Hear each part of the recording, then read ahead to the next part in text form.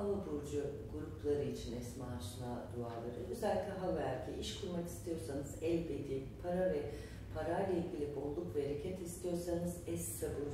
Sağlık için El Rahman okumanız gerekiyor. Toprak, hani ev alma, ev yatırımı, inşaat, inşaat işlerine girmek istiyorsanız El Aziz.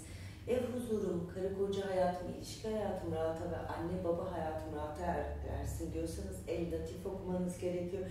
Çok çocuk istiyorum, çocuğum olmuyor ya da çocuklarımın geleceğiyle ilgili korkum var diyorsanız El Razzak, çocuk olmayıp bir türlü başaramıyorsanız El Muhabbir okumanız gerekiyor.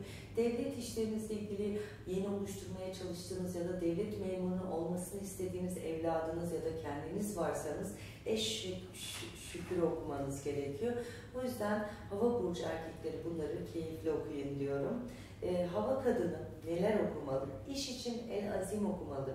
Aşk için El Cabbar okumalı. Sağlık için El Halik okumalı. Ev huzuru için El Zerrak okumalı.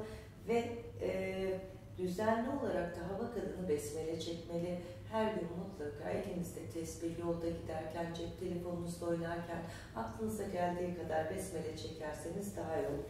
E, mutlaka bunları ne zaman ya ya akşam ya da yatsı namazıyla birlikte e, bir suyun içine okuyun. Yine evinizin her köşesine ve mutlaka ve mutlaka çocuğunuza içirin. Çocuklarınız çabuk nazara geliyor.